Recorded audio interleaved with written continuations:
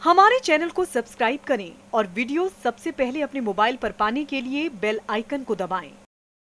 एक तरफ़ देश में मूर्ति तोड़ने पर महाभारत छिड़ी है तो दूसरी तरफ़ कुछ महापुरुषों को अपना बनाने पर जंग हो रही है, जहाँ बीजेपी कह रही है कि बाबा साहब के आगे हम माथा टेकेंगे तो बसपा कह रही है कि हम तो हमेशा उनकी उंगली पकड़कर चले हैं, यानी ध्यान पूरी तरह अंबेडकर को मानने वालों पर है, ताकि उन्हें लुभाया जा सके जहाँ बसपा ने बाबा साहब के हम नाम के सहारे सियासी दाव चला है तो बीजेपी ने सरकारी शासन आदेश जारी किया है और साफ़ कह दिया है, बाबा साहब हर सरकारी दफ्तर की दीवार पर नज़र आएँगे।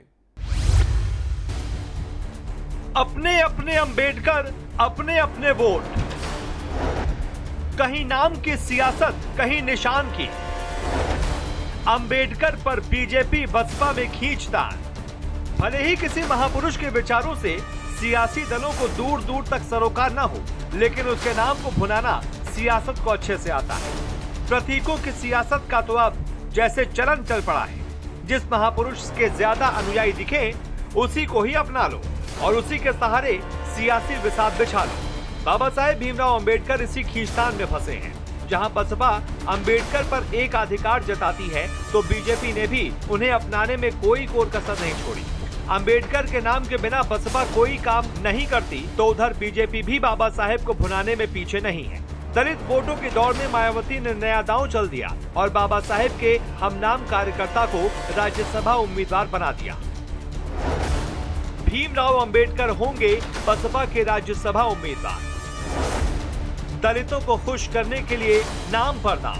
भले ही अपने दम पर बसपा किसी को राज्यसभा भेजने की स्थिति में न हो, लेकिन प्रतीकों की सियासत में वो पिछड़ना नहीं चाहती। इसलिए बसपा ने भीमराव अंबेडकर नाम के एक कार्यकर्ता को राज्यसभा उम्मीदवार घोषित कर दिया।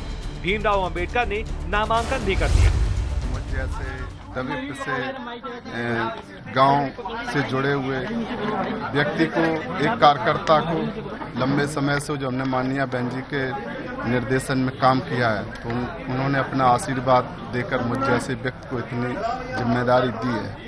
इसके लिए मैं माननीय बहन जी का हृदय से बहुत आभार इधर बसपा ने बाबा साहेब के हम नाम के सहारे लोगों को लुभाने की कोशिश की तो बीजेपी ने तस्वीर के सहारे दांव चल दिया। योगी सरकार ने सभी सरकारी दफ्तरों में बाबा साहेब भीमराव अंबेडकर की तस्वीर लगाना अनिवार्य कर दिया और इसके लिए शासन आदेश भी जारी कर दिया। उत्तर प्रदेश विधानसभा, विधान परिषद, सचिवालय समेत राज्य सरकार के अंतर्गत आने वाले तमाम कार्यालयों, निगमों, परिषदों, शैक्षणिक संस्थानों और विद्यालयों के लिए जारी किया गया। इस शासन आदेश में प्रदेश सरकार ने सूचना एवं जनसंपर्क विभाग को प्रत्येक कार्यालय को डॉक्टर भीमराव रामजी अंबेडकर का चित्र उपलब्ध करवाने की ज़िम्मेदारी सौंपी है। चित्र के नीचे डॉक्टर अंबेडकर की जन्म तिथि और निर्माण की तिथि को अंकित किया जाना भी अनिवार्य होगा। आपको बता दें, अभी तक यूपी के सरकारी कार्यालयों में महात्मा गांधी के अलावा राष्ट्रपति, प्रधानमंत्री और मुख्यमंत्री की तस्वीरें ही लगाई जाती थी और शैक्षणिक संस्थानों में केवल महात्मा गांधी की तस्वीर लगाई जाती थी। और अब भीमराव अंबेडकर की तस्वीर भी नज़र आएगी। यानी साफ़ है तरीका कोई भी हो, महापुरुषों के सहारे सियासत साधने में कोई पीछे नहीं है। अब तो हाल ये हो गया कि एक दूसरे से छीनने के लिए हाथ पैर मारे जा रहे हैं, ताकि इनको आदर्श मानने वालों को लुभाया जा सके। लखनऊ से समाचार प्लस के लिए अभिषेक सिंह की रिपोर्ट।